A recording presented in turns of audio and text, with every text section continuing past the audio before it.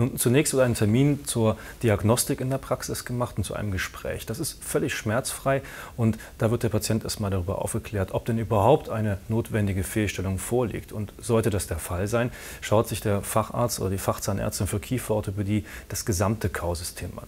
Die Zähne, die Kariesgefahr, das Schluckmuster, die Körperhaltung wird bewertet.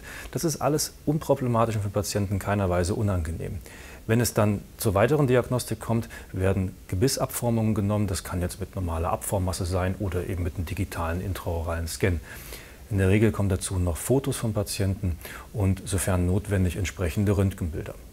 Im Anschluss daran wertet der Kieferorthopäde diese Unterlagen alle aus, erstellt Zeichnungen, misst Winkel und misst Rotationen und so weiter und erstellt dann einen für den Patienten individuellen und optimalen Behandlungsplan. Der wird dann im zweiten, je nachdem vielleicht auch im dritten Termin, dann mit Patienten, gegebenenfalls Patienteneltern besprochen. Man bespricht verschiedene Therapiealternativen mit dem Patienten, eventuelle Möglichkeiten, die Behandlung zu verändern oder auf die individuelle Lebenssituation der Patienten, das ist besonders bei erwachsenen Patienten wichtig, eben anzupassen. Und dann geht es auch schon los. Die Spange wird eingesetzt. Dann ist allerdings unterschiedlich, habe ich eine feste Spange oder eine zum Beispiel durchsichtige Schiene.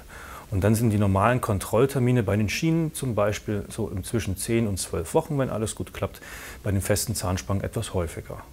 Und je nachdem, wie groß die Zahnfehlstellung ist und wie gut die Mitarbeit des Patienten ist, gibt es eine kurze oder eine lange Behandlung. Und am Ende wird durch einen sogenannten Retainer, das ist ein kleiner Draht auf der Innenseite der Zähne, sichergestellt, dass das Behandlungsziel auch genauso bleibt, wie wir es uns vorgestellt haben.